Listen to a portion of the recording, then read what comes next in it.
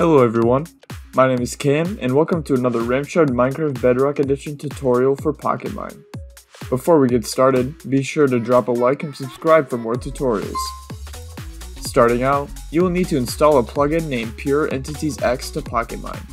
You can use our easy to use plugin installer. To get there, go to the control panel Find the Files drop-down tab, then select Plugin List. On the Plugin List page near the upper left, you will see Source. Change the source to Poggit. Now, you can search for Pure Entities X, type the name of the plugin, and hit Enter. Click on the plugin name that appears. On the page for the plugin, click Install. After the plugin installs, go to the home page of the server and click Restart. Once the server is up, you can join the server and enjoy the mobs. Thanks for watching.